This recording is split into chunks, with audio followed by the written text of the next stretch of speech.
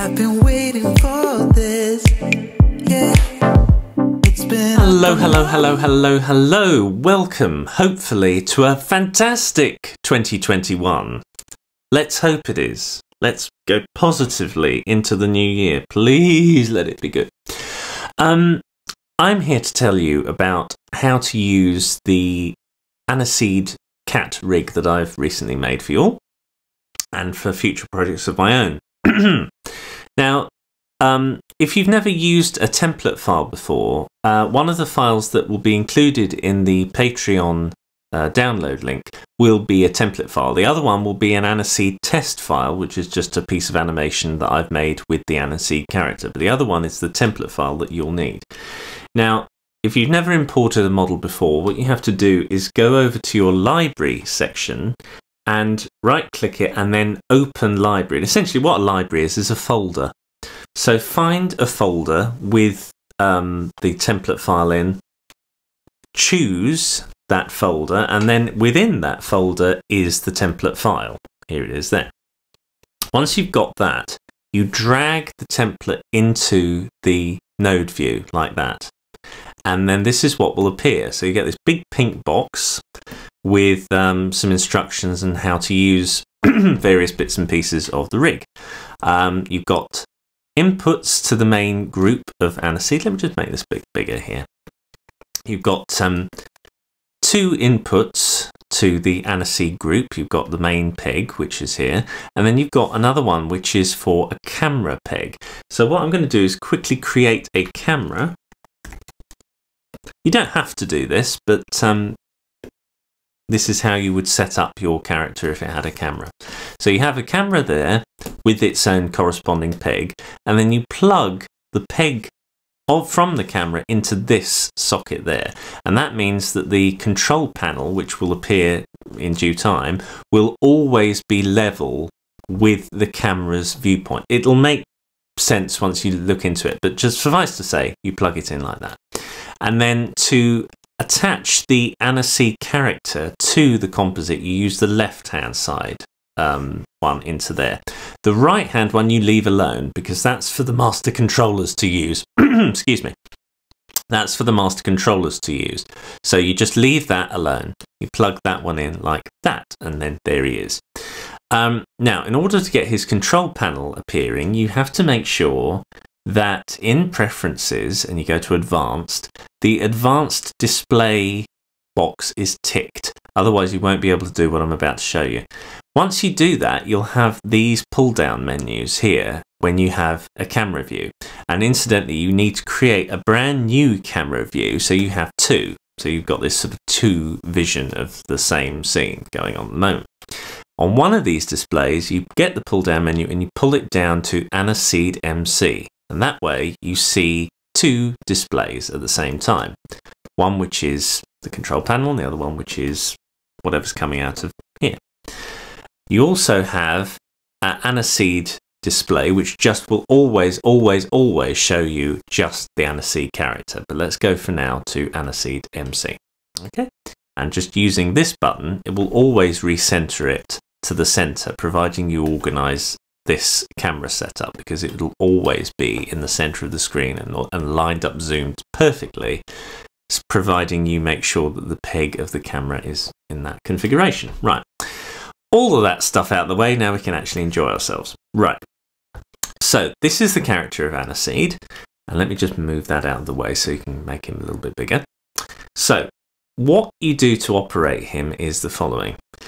On this part of the control panel here are the V-pegs, and I'll turn each one on and off uh, uh, so you can see what they all do.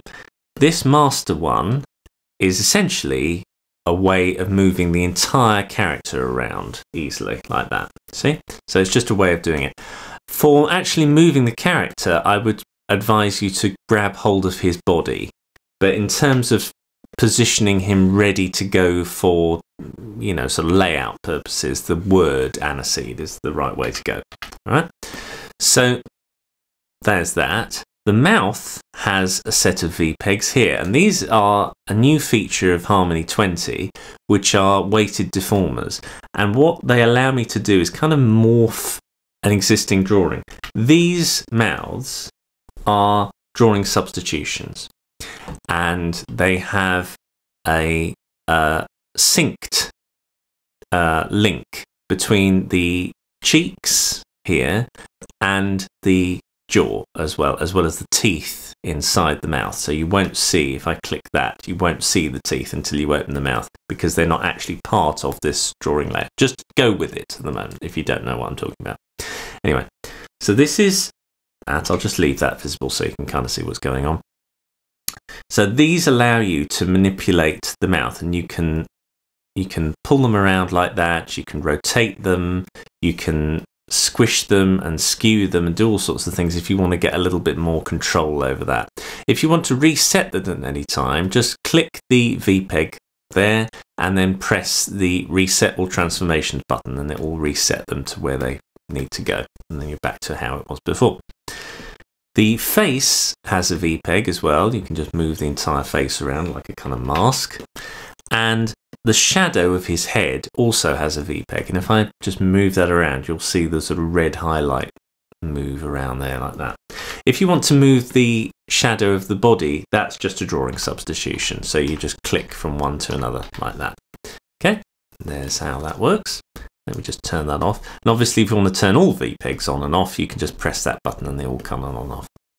Now, the eyes are drawing substitutions, which you can click away like that if you want to. However, I've got a slider here that allows him to blink pretty quickly, and I can do either eye individually like that, which is really good.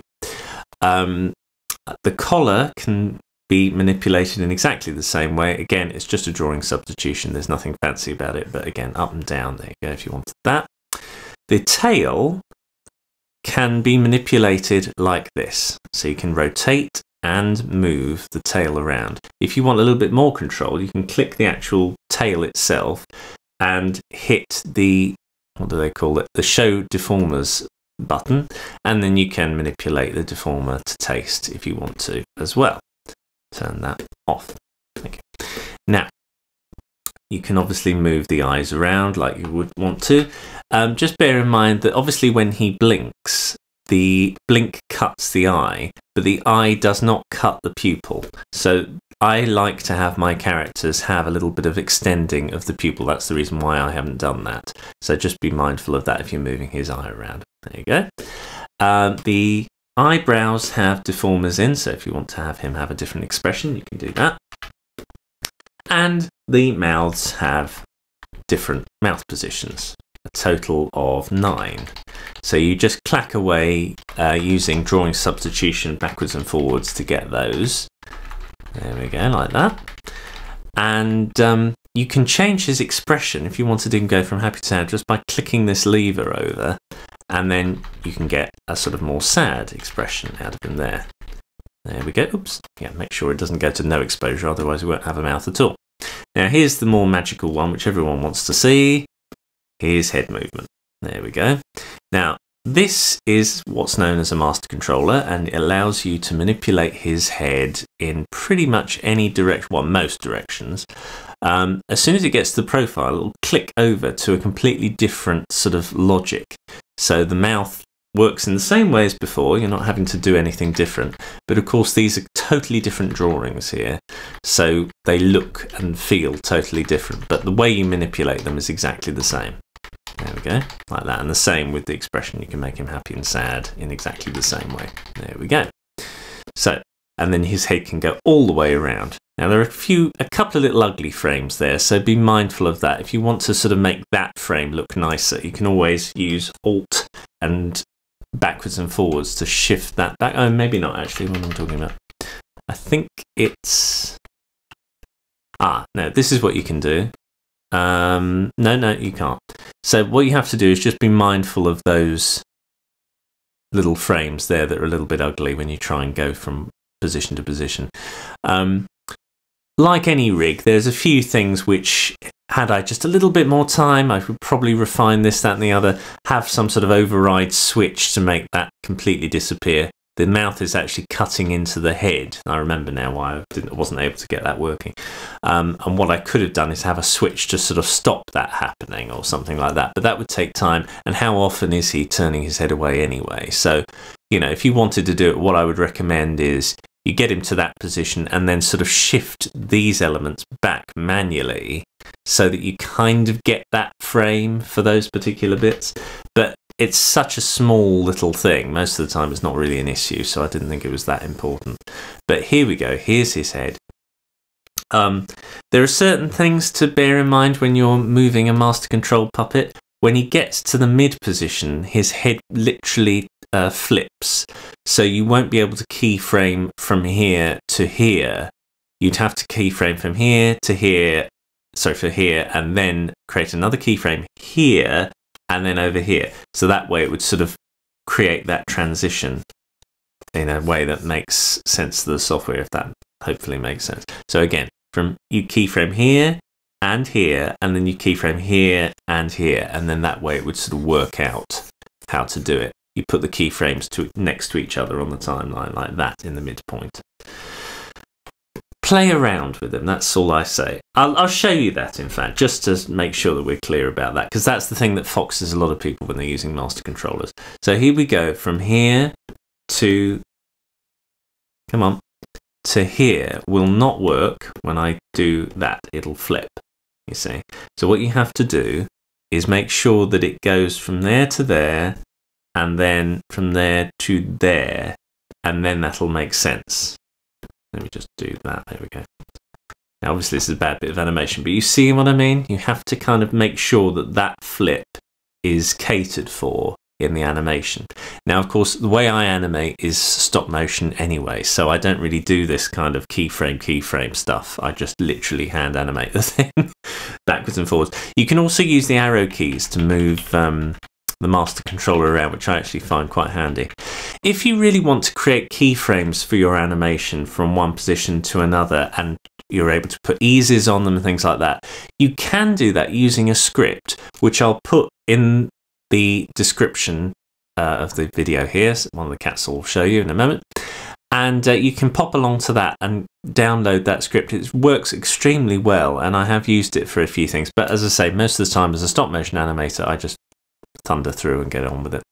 So, hope this will inspire and interest you. Some of the rig, if you have a look at uh, the way I've designed this, let me just have, a, I'll show you some of the rig.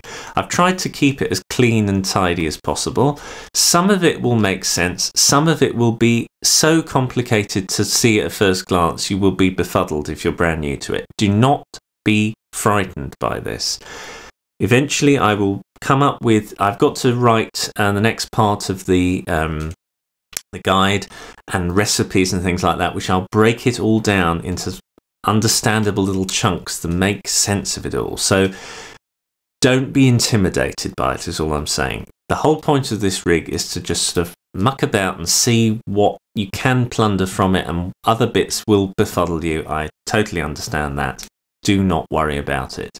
Just wait. I will come up with the goods very soon, but I had to sort of make some stuff in order to test out some theories and to figure things out. So that's the reason. And there's a kind of gift I kind of wanted to give uh, Aniseed uh, to you for being so so fantastic this year. Um, hope you get on all right with him, just animating him and getting used to the techniques. Um, there is no set way of animating anything. So apart from that little thing that I told you about about putting keyframes in the center, there's not really anything else. Um, you can animate this character literally in any way you want. Oh, the one other thing I forgot to mention is that he has a deformer in the center there. So that allows you to move um, the body around in that way uh, if you want to as well. All right, that's the only other deformer. Completely forgot. And you can manipulate his uh, headphones there as well, which is kind of nice. Um, Hope you enjoy him. Good luck with animating him, and good luck to us all for 2021. Bye.